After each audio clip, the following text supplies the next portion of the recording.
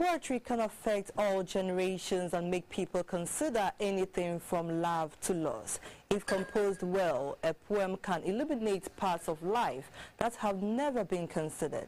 One man, a Ghanaian poet, who brought new dimensions to poetry is the late Professor Atukwei Okai, a literary giant, Pan-Africanist, cultural activist, academic, and a fearless social commentator. The Ghana Association of Writers, GAW, has celebrated him. GBC 24's Rebekah Awuah watched the recitals, reminiscences, and anecdotes by other poets and his contemporaries.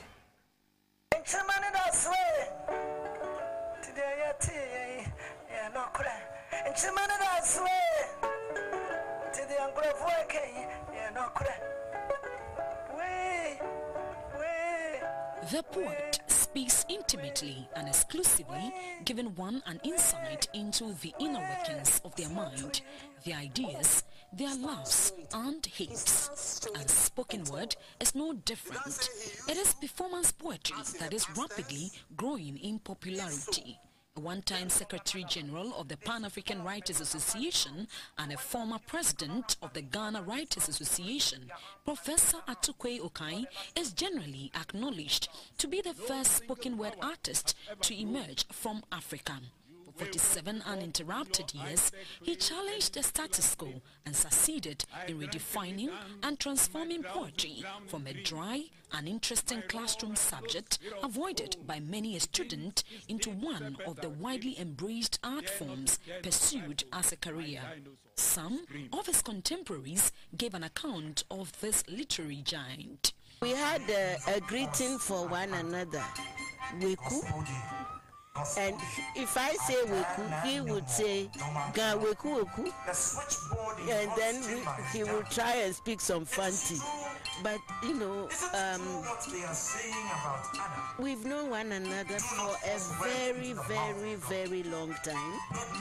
We are grateful to him for having the enthusiasm, the energy the care, you know, to try and even create some space where we writers of Africa can say that we are a trade union. Atuko was the first person to perform rather than recite or read, really perform a poem using all the cadences, rhythms, and rhymes of our various languages he was the one who really made us see poetry as a living thing. With works such as The Oath of the Fontomfrom, Lorgorligi logarithms, Mandela the Spear, a slim queen in a palanquin, and a pawpaw on a mango tree, among others, Professor Atukwei Okai gained fame as one of Africa's most influential writers and artists. He represented Ghana in many parts of the world through the translation of his works into several languages, including Russian, Spanish, German, Arabic, French, and Italian. A style of fusing Ga and English also made poetry come alive, endearing him to both the old and young. Atukwei Okai, he's, he's a demigod uh, because uh, he also brings to life through writing, through poetry, through speaking. And then we have been taught to also create. And I think uh, as the leading resource in a country, that's the human resource. And then with the youth who are known as just piercing, tattooing, listening to hip hop and maybe some Shatta Wale music here and there and jamming in the clubs, we can actually also write some literary works which are timeless and worthy. I'm a son of many parts, born to many fathers at different points in my life.